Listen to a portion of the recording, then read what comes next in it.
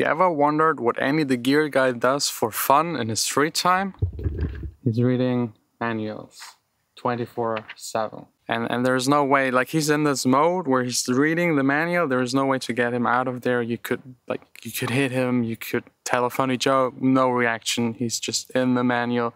And then the manual is in his head. It's like downloading matrix all the information. That's how it works. And i already tried like to to ask him if i'm today allowed to to open this this huge package probably a synthesizer and all he's just saying is let's try and like figure out what he wants me to do or what I have like to to to open it up because I'm I'm excited for it. So Andy told me I'm allowed to open it once once I finish this right here. Those are the, the absorbers, the new absorbers we need for the live room and also some for the ceiling of the B studio.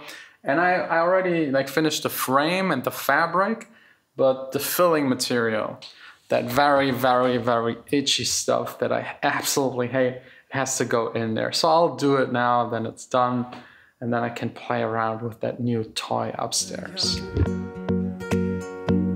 If this isn't right, why does it feel so good? Taking me higher like you said it. All done with the absorbers. Let's let's see if Andy now lets me open up that big package. Now? Okay.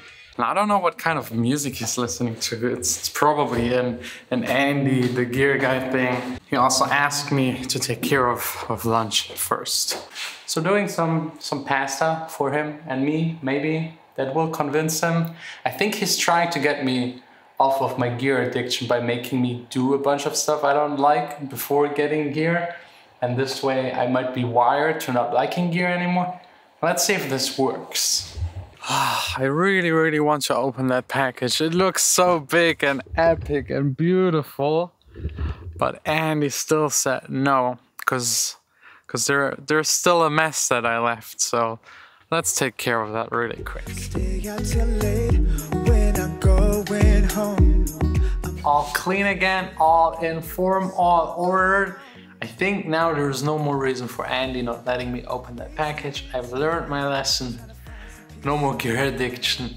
This right there, the big package, is the last piece of gear to satisfy my gear addiction, my probably synthesizer, it's a synthesizer, synthesizer addiction. It's the last missing piece. It makes the studio upstairs complete. So let's, let's open it up, if I'm allowed to.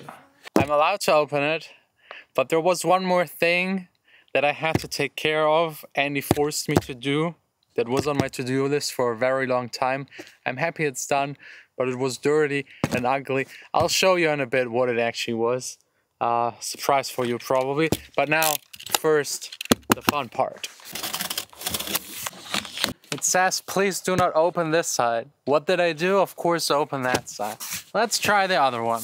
Whoa, whoa, whoa, whoa. Whoa, I need a bigger studio for this. It was just a matter of time until I say I need a bigger studio. Ooh, I think I know what it is.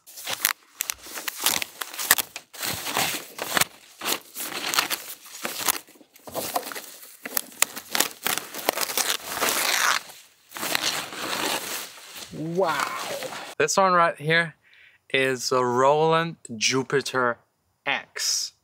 It's not the Jupiter 8. That one is 20k up on the used market, but it's the it's the thing that is the closest to it.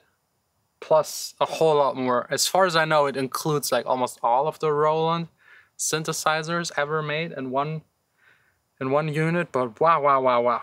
It's big, it's heavy, metal finish, feels solid. Keys are good.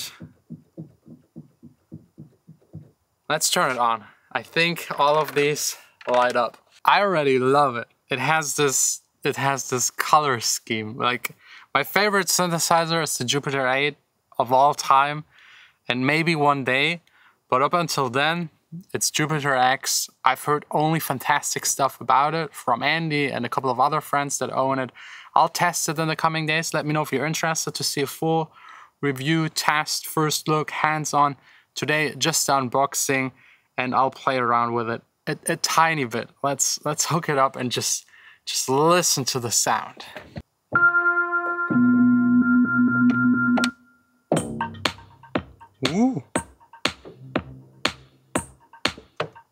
That's nice. There are some presets. If you press them, it triggers a drum beat, and the drum beat sounds fat.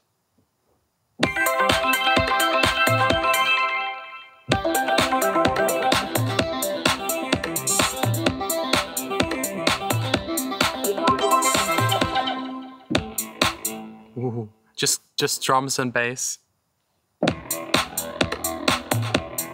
Wow. Okay, this will be a lot of fun. I need to learn this.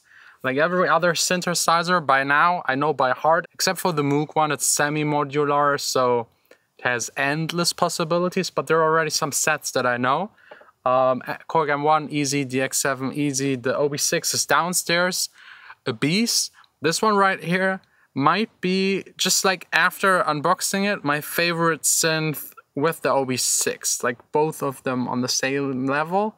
One has certain types of sounds, the other one other certain types of sounds. Like they they are a perfect match, like my desert island synths. But I'll give it a full test in a month or two. Typical sounds. I love them so much because it's like like when you're in a club and there's like a Jupiter pad and it opens the cutoff, it's like the sun is rising and like in your face and it's just good. I love that sound. I love that sound so much. Okay, all of the tasks today, worth it, 100%.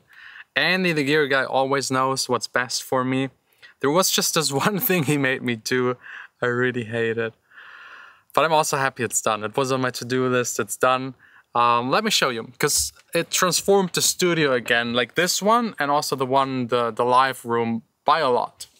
So let's start right here. You see these right here, those are absorbers, broadband absorbers. I don't know the English name for them, but there's like a plate in it that swings and it kind of, the bass hits it, it swings and it's dampening it.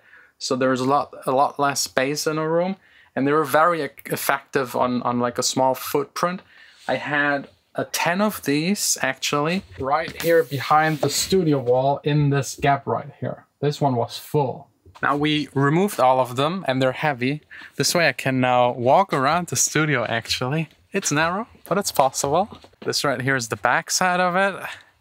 And now I'm back at the door, exit of the studio and entering it again.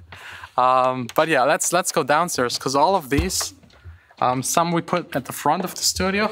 And The other part, we got them all down to the live room. They're all in here now, and it helps a lot. We got three behind the drum set, two behind the door. One of them will actually go over there, and then two more over here. And it helps a lot. It cuts down the reverb already by half, and now we're at a place with the reverb decay time that is perfect for a live room. The only thing we, we should improve is like higher ceilings, but that's not so easy.